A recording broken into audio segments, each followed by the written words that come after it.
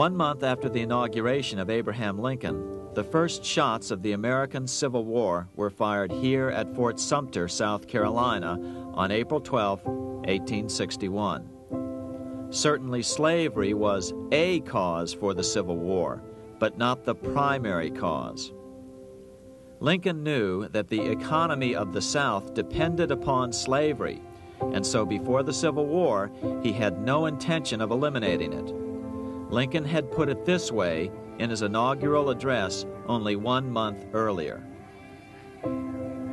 I have no purpose, directly or indirectly, to interfere with the institution of slavery in the states where it now exists. I believe I have no lawful right to do so, and I have no inclination to do so. Even after the first shots were fired here at Fort Sumter, Lincoln continued to insist that the Civil War was not about the issue of slavery. My paramount objective is to save the Union, and it is not either to save or destroy slavery. If I could save the Union without freeing any slave, I would do it. So, what was the Civil War all about? There were many factors at play. The money changers were still stung by America's withdrawal from their control 25 years earlier. Since then, America's wildcat economy had made the nation rich, a bad example for the rest of the world. The central bankers now saw an opportunity to split the rich new nation, to divide and conquer by war. Was this just some sort of wild conspiracy theory at the time? Well, let's take a look at what a well-placed observer of the scene had to say at the time. His name was Otto von Bismarck, Chancellor of Germany, the man who united the German states a few years later.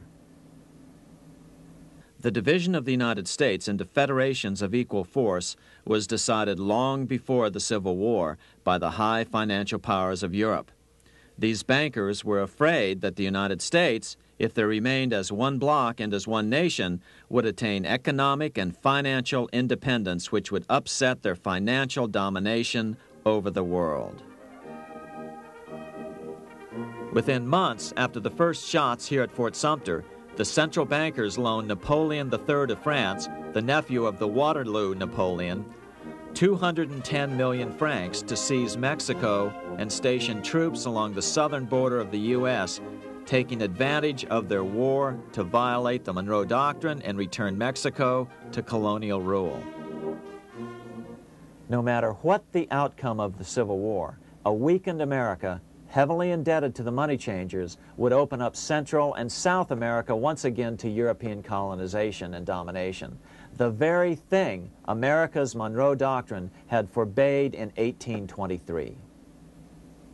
At the same time, Great Britain moved 11,000 troops into Canada and positioned them menacingly along America's northern border. The British fleet went to war alert should their quick intervention be called for. Lincoln knew he was in a double bind. That's why he agonized over the fate of the Union. There was a lot more to it than just differences between the North and the South. That's why his emphasis was always on union and not merely the defeat of the South. But Lincoln needed money to win. In 1861, Lincoln and his Secretary of Treasury, Salmon P. Chase, went to New York to apply for the necessary loans. The money changers, anxious to see the Union fail, offered loans at 24 to 36 percent interest. Lincoln said thanks, but no thanks, and returned to Washington. Lincoln sent for an old friend, Colonel Dick Taylor of Chicago, and put him on the problem of financing the war.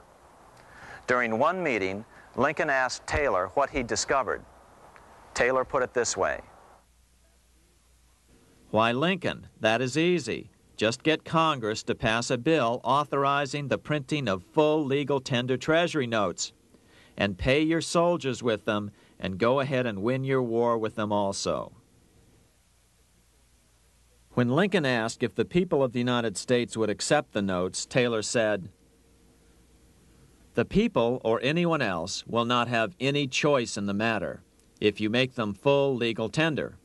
They will have the full sanction of the government and be just as good as any money, as Congress is given that express right by the Constitution. So that's exactly what Lincoln did. In 1862 63, he printed up $450 million worth of the new bills. In order to distinguish them from other banknotes in circulation, he printed them in green ink on the back side. That's why the notes were called greenbacks. With this new money, Lincoln paid the troops and bought their supplies. During the course of the war, nearly $450 million worth of greenbacks were printed at no interest to the federal government. Lincoln understood who was really pulling the strings and what was at stake for the American people. This is how he explained his rationale. The government should create, issue, and circulate all the currency and credit needed to satisfy the spending power of the government and the buying power of consumers. The privilege of creating and issuing money is not only the supreme prerogative of government, but it is the government's greatest creative opportunity. By the adoption of these principles, money will cease to be master and become the servant of humanity. A truly incredible editorial in the London Times explained the central banker's attitude towards Lincoln's greenbacks. If this mischievous financial policy, which has its origins in North America, shall become indurated down to a fixture, then that government will furnish its own money without cost. It will pay off debts and be without debt. It will have all the money necessary to carry on its commerce it will become prosperous without precedent in the history of the world. The brains and wealth of all countries will go to North America. That country must be destroyed, or it will destroy every monarchy on the globe. The scheme was effective, so effective that the next year, 1863, with Federal and Confederate troops beginning to mass for the decisive battle of the Civil War, and the Treasury in need of further congressional authority to issue more greenbacks, Lincoln allowed the bankers to push through the National Bank Act. These new national banks would operate under a virtual tax-free status and collectively had the exclusive monopoly power to create the new form of money, banknotes. Though greenbacks continued to circulate, their numbers were not increased, but most importantly, from this point on, the entire U.S. money supply would be created out of debt by bankers buying U.S. government bonds and issuing them for reserves for banknotes. As historian John Kenneth Galbraith explained it, In numerous years following the war, the federal government ran a heavy surplus. It could not, however, pay off its debt, retire its securities, because to do so meant there would be no bonds to back the national banknotes. To pay off the debt was to destroy the money supply. Later in 1863, Lincoln got some unexpected help from Tsar Alexander II of Russia. The Tsar, like Bismarck in Germany, knew what the international money changers were up to and had steadfastly refused to let them set up a central bank in Russia. If America survived and was able to remain out of their clutches, the Tsar's position would remain secure. If the bankers were successful at dividing America and giving the pieces back to Great Britain and France, both nations under control of their central banks, eventually they would threaten Russia again. So the Tsar gave orders that if either England or France actively intervened and gave aid to the South, Russia would consider such action as a declaration of war. He did the same with part of his Pacific Fleet and sent them to port in San Francisco. Lincoln was reelected the next year, 1864. Had he lived, he would surely have killed the National Bank's money monopoly extracted from him during the war. On November 21, 1864, he wrote a friend the following the money power preys upon the nation in times of peace and conspires against it in times of adversity. It is more despotic than monarchy, more insolent than autocracy, more selfish than bureaucracy. Shortly before Lincoln was murdered, His former Secretary of Treasury, Salmon P. Chase, bemoaned his role in helping secure the passage of the National Banking Act only one year earlier. My agency in promoting the passage of the National Banking Act was the greatest financial mistake in my life. It has built up a monopoly which affects every interest in the country. On April 14, 1865, 41 days after his second inauguration and just five days after Lee surrendered to Grant at Appomattox, Lincoln was shot by John Wilkes Booth at Ford's Theater. Bismarck, Chancellor of Germany, lamented the death of Abraham Lincoln.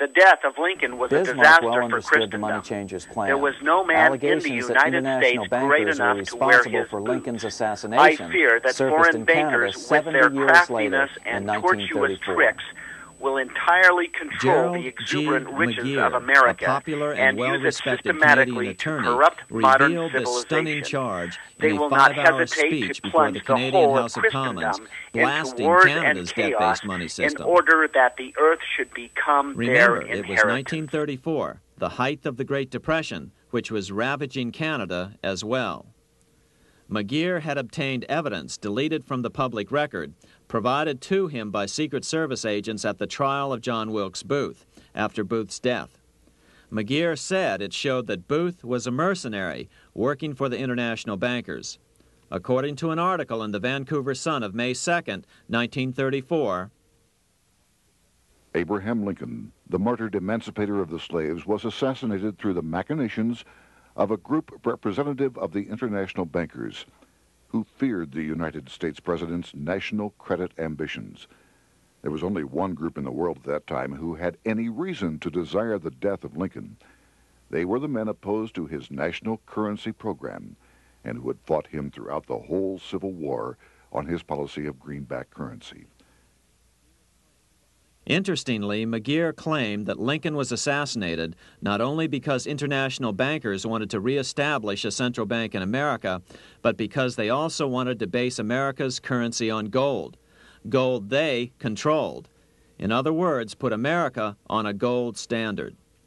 Lincoln had done just the opposite by issuing U.S. notes, greenbacks, which were based purely on the good faith and credit of the United States. The article quoted McGeer as saying, They were the men interested in the establishment of the gold standard and the right of the bankers to manage the currency and credit of every nation in the world. With Lincoln out of the way, they were able to proceed with that plan and did proceed with it in the United States.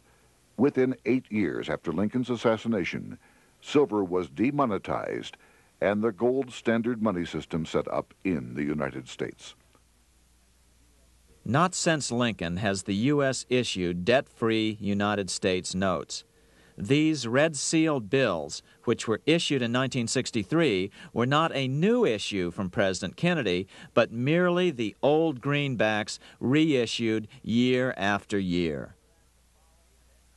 In another act of folly and ignorance, the 1994 Riegle Act actually authorized the replacement of Lincoln's greenbacks with debt-based notes. In other words, greenbacks were in circulation in the United States until 1994. Why was silver bad for the bankers and gold good? Simple. Because silver was plentiful in the United States. It was very hard to control. Gold was, and always has been, scarce. Throughout history, it has been relatively easy to monopolize gold, but silver has historically been 15 times more plentiful. Now, Abraham Lincoln funded the Civil War and government without taxation and without borrowing. It really happened, but we don't learn about it in school. We don't learn about it in textbooks, and the media doesn't tell us. The power of government, the power to create money, is the power to govern. When the government loses its power to create money, it is no longer the government.